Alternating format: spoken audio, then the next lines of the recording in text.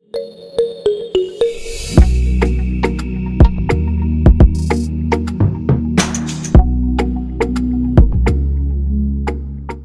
ចឹងមេរៀនបន្តគឺការគូសរង្វង់ណាអញ្ចឹងយើងគូស circle អញ្ចឹងយើងចុចយកប៊ូតុង circle នេះមកឬក៏យើងវាយ shortcut អក្សរ C ណាបាទវាយ short shortcut អក្សរ C បាទអញ្ចឹងចេញខ្មៅដៃហើយអញ្ចឹងបន្តមកទៀតយើងមើលកន្លែងនេះសិនណាបាទយើងមើលកន្លែងនេះសាយណា សាយនេះបានន័យថាយើងកំណត់ជ្រុង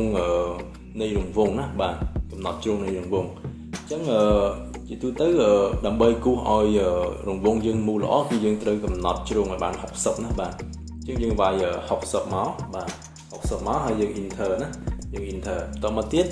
យើងយកខ្មៅដៃរបស់យើងចុចចំណុចចាប់ដើមមួយមកបាទហើយអូសចេញមកក្រៅមកគឺចេញរង្វង់ហើយណាបាទឃើញវាមូលល្អហើយបាទហើយបន្តមកទៀតគឺយើងកំណត់កម្មណាបាទ គឺយើងត្រូវកំណត់កម្មនៃរង្វង់ចឹងឧទាហរណ៍ថាខ្ញុំចង់គូសរង្វង់ដែលមាននឹងកប់ចិត្ត6ទឹកអញ្ចឹងខ្ញុំវាយកម្ម3ទឹកណាបាទអញ្ចឹងខ្ញុំវាយ300មកហើយខ្ញុំ enter មកគឺយើងបានរង្វង់មួយដែលមានអង្កត់ចិត្ត600ណាបាទ